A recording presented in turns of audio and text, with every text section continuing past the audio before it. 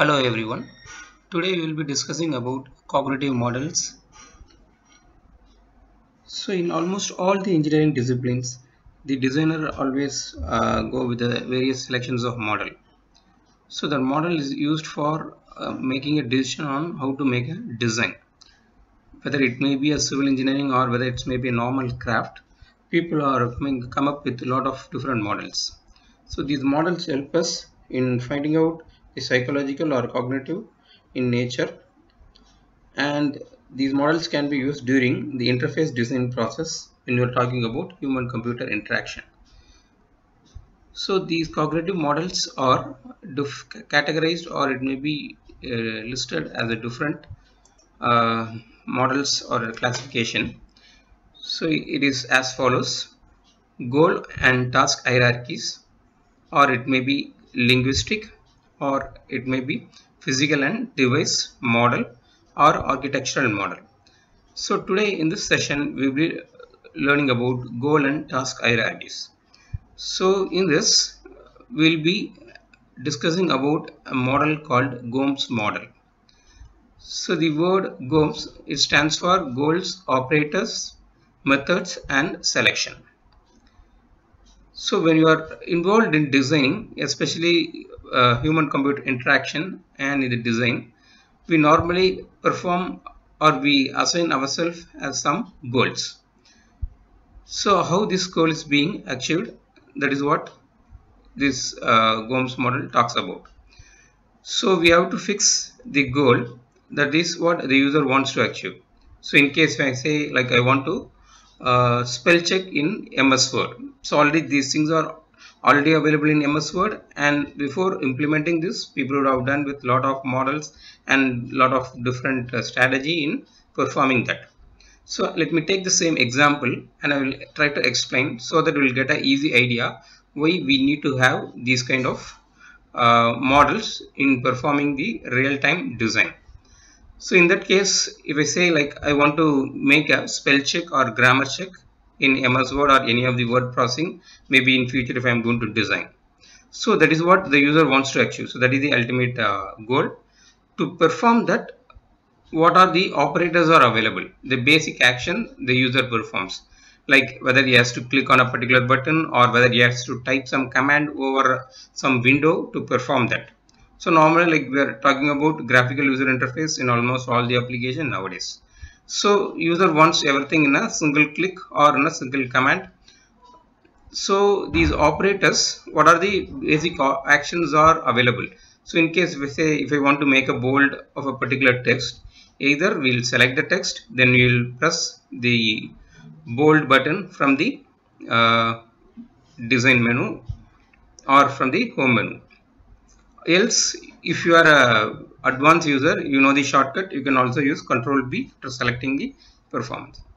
So this is what we call as the operators. Our methods is nothing but decomposition of a goal into sub goals so in case uh, we have been talking about grammar check. So in that grammar check uh, we are not told about like for what kind of language I am going to perform this. Whether it's meant for English or whether it's meant for uh, regional languages like Malayalam, Telugu, Tamil or whatever it may be. So in that case, each and every uh, grammar check or spell check is going to be different. So in that case, I need to decompose my goal into various sub goals. So uh, if my task is very huge or very large, I will be decomposing it. Maybe in the software engineering, you would have uh, learned like how a simple task is being uh, subdivided into various subtasks so that, each subtask will be assigned to a particular person and at the end of a particular uh, duration entire uh, goals will be performed. And the last thing is about selection. So in this case selecting a best uh, method or choosing between the competing method which gives you a optimal solution or uh, whichever satisfied which can give you a uh, complete satisfaction to the user so we'll see with an one example. So this example tells you like my goal is to close the window. That is what I mean is in the application we want to close the window. Normally everyone knows that either I can use file menu then select close else I will be using that uh, X symbol on the top right corner to close the application. So here we are going to take uh, two conditions that is if you want to close the uh, window I have two selections. So here if I say like selections is different methods to perform the same task here. So either I can use menu method or the goal is use control W method. So there are two methods to perform this close window where close window is your goal and this is your selection. To perform this selection you need to perform certain operations. That is what basic of user of actions to be performed. So what I am supposed to do if I want to use menu method then I have to move my mouse over to the file menu then a pull down menu will occur appear. Then you have to click over the close option. So that is one way of doing it that everyone knows it. All maybe if you know like there is a alt F for uh, selection which also close it. But here we are going to discuss about only two methods so control W is being assigned to close the application. So we have defined here two rules for a particular user when to use these two methods. So if I'm going to use this use menu method it applies for every, everything. That is almost all the applications.